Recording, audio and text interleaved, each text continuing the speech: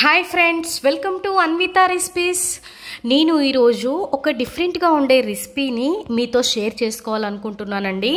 అదేంటి అంటే చెప్పను డైరెక్ట్గా మీకు చూపిస్తాను. చూడండి కనిపిస్తూ ఉంది కదా ఇదేంటి వీళ్ళు మజ్జిగ చేసి చూపిస్తా అని అంటున్నారు అనుకుంటున్నారేమో కానీ ఇది మజ్జిగ కాదండి నేనైతే ఇక్కడ కొబ్బరితో రసంని ప్రిపేర్ చేశాను.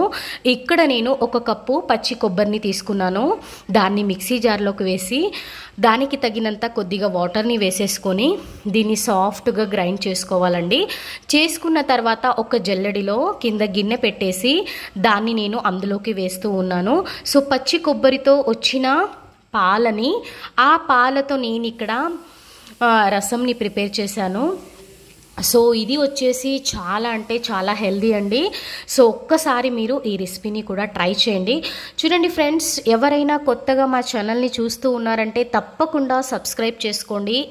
ఓకేనా ఫ్రెండ్స్? సబ్స్క్రైబ్ చేసుకుంటే మేము చేసే ప్రతి ఒక్క వీడియో మీకు నోటిఫికేషన్ రూపంలో వస్తుంది. ఇలా చూడండి ఆల్రెడీ నేను గ్యాస్ మీద ఒక కడాయిని పెట్టాను. అందులోకి ఒక రెండు స్పూన్లు ఆయిల్ని వేశాను. సో ఇప్పుడు ఇందులోకి ఒక స్పూన్ వచ్చేసి ఆవాలు అర స్పూన్ జీలకర్ర అలాగే దీనికి కావాల్సినవన్నీ నేను మీకు ముందుగా చూపిస్తూ ఉన్నాను. ఇప్పుడు కట్ చేసి పెట్టేసుకున్న ఒక్కొక్క ఇంగ్రీడియంట్స్ని నేను ఇందులోకి వేస్తూ ఉన్నాను. పచ్చిమిర్చి ఎండుమిర్చి అలాగే ఆనియన్ సో కరివేపాకు. మొత్తం ఇలా ఆయిల్లో వేసేసి బాగా వేగించుకోవాలండి. అలాగే ఇందులో నేను ఒక అర స్పూన్ వచ్చేసి పసుపుని యాడ్ చేశాను. సో పసుపు వేసుకున్న తర్వాత ఇది ఆయిల్లో బాగా మగ్గాలి అంటే నేను ఇక్కడ సాల్ట్ని కూడా యాడ్ చేస్తూ ఉన్నానండి. దీన్ని మనము లో ఫ్లేమ్లో పెట్టేసి బాగా వేగించుకోండి. సో మనం తినేటప్పుడు ఇది ఎక్కడే కానీ పచ్చి పచ్చిగా రాకూడదండి. అందుకనే చాలా సాఫ్ట్గా దీన్ని మనము వేగించేసుకోవాలి.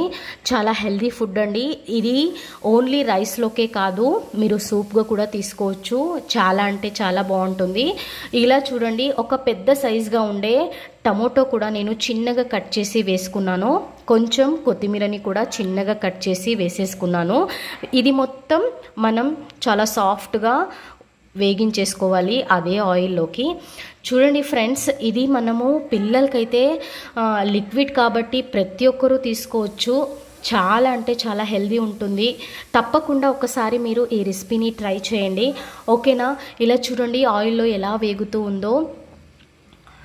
కొంచెం టైం తీసుకున్నా కూడా తొందరగా అయిపోతుంది. మీరు ఎక్కడి నుంచి వచ్చిన అంటే ట్రావెల్ చేసి వచ్చాక ఏం చేయాలి అనుకున్నప్పుడు ఇదొక బెస్ట్ రెసిపీ అండి. అంత బాగుంది. ఇక్కడ చూడండి నేను కొబ్బరి పాలని వేస్తూ ఉన్నాను. కొంచెం బాగా వేగిన తర్వాత ఆ పాలని మొత్తం వేసుకున్నాను. మీకు ఎంత లిక్విడ్ కావాలో కొంచెం మందంగా వచ్చింది కొబ్బరి పాలు అంటే అందులో ఒక గ్లాస్ అంతా వాటర్ని యాడ్ చేసేసుకొని ఇలా వేసుకోండి.